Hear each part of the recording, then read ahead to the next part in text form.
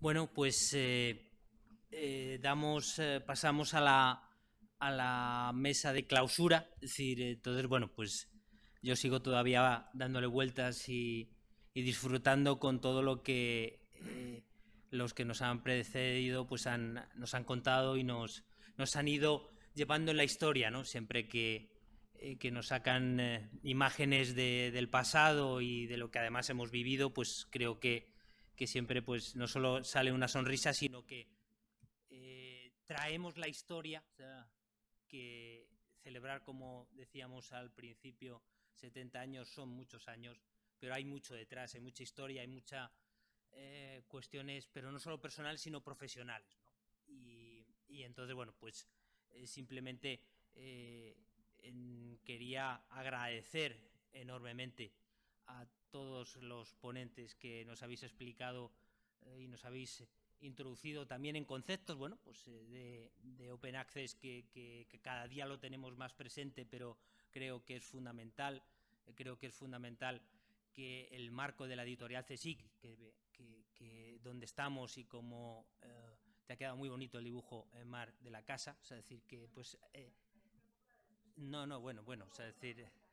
Eh, pero, pero es, es, la realidad, ¿no? Es decir, yo creo que, que, que, es importante y sobre todo pues disfrutar pues de que realmente como, como habéis vivido tanto eh, tanto Paqui como tú Mar sois el reflejo de, de los que han estado detrás de, de todas esta de toda la revista, ¿no? Entonces, bueno, pues agradeceros eh, que, que, hayáis puesto, o sea, el, la revista donde la habéis puesto y que va acogido el instituto de la revista, ¿no? No sé quién, quién tira más, ¿no? O sea, yo sinceramente, o sea, os puedo decir que esto es como quién quiere más papá o mamá, ¿no? Es decir, realmente en el instituto tenemos una enorme fortuna y somos muy privilegiados en no solo tener materiales, ¿no? que es nuestra revista que en estos momentos celebramos el, el 70 y hemos celebrado hace muy poco el otro 70 de informes que van ahí, o sea, eh, van muy, tienen la, casi la misma edad, ¿no? pero tener dos revistas con materiales e informes de la construcción, eh, eh, permitirme que como director del instituto para mí es un orgullo, es decir, que y dentro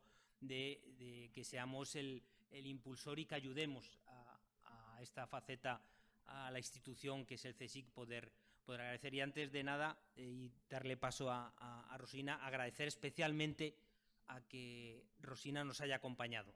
Rosina, de verdad, te agradecemos enormemente que, institucionalmente eh, vengas a acompañarnos, que eh, sabemos de, tu agenda y de lo complicado que tienes, pero que además hayas podido estar con todos nosotros en toda la jornada. ¿no? Por eso te agradezco especialmente el que, el que nos acompañes, siempre que, que, que os llamamos aquí estáis y de verdad eh, para el instituto que la organización central, que siempre hablamos de organización central, parece como que está muy lejos, pero os puedo asegurar que está mucho más cerca de lo que, de lo que uno puede pensar.